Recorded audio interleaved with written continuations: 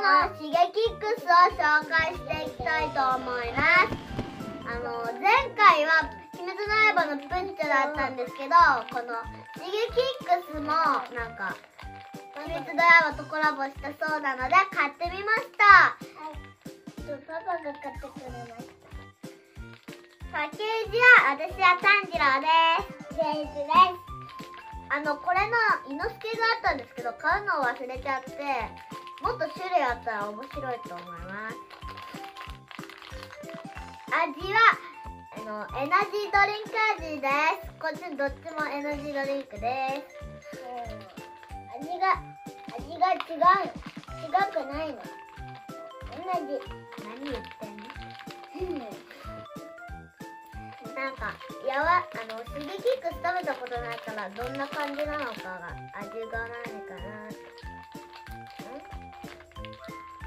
ょっと柔らかめでちょっと硬めですじゃあ開けて。食べますあれ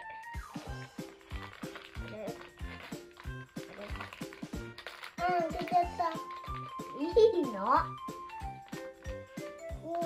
だから何が緊張なの忘れたおなんか種類待って。待って。待ってじゃあこんな形です。こんな形です。ちっちゃいあえこれ本当にエナジードリンクオレンジとね中身はこんな感じで。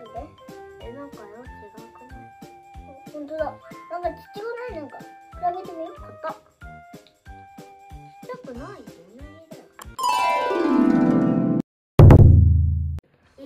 いいせなぜ高い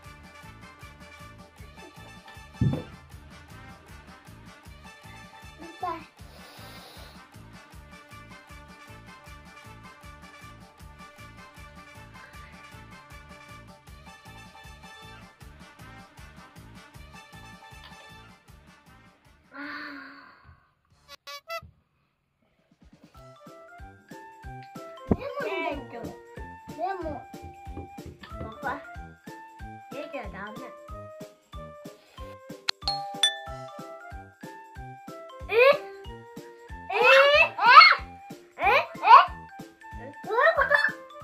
えどういうこと？え？え？どういうのえ、わかんなかった。だからドッキリ大成功ってママ言ってよえ、それで最初からで言ってよええ、そうだったのわかん。ない。最後らへん。は美味しい。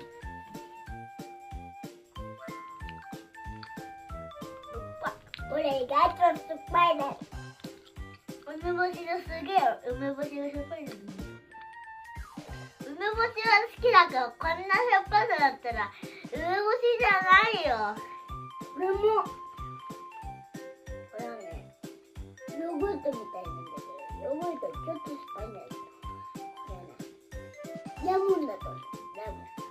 レモンはね凍ってるんですよレモンじゃないレモンじゃない。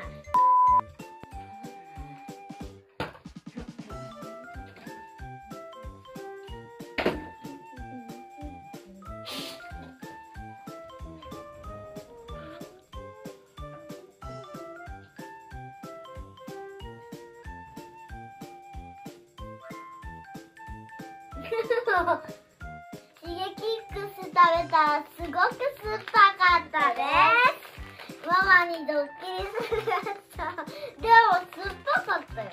でも一番最後はまあ美味しかった。うん。チャンネル登録、グッドボタン押してね。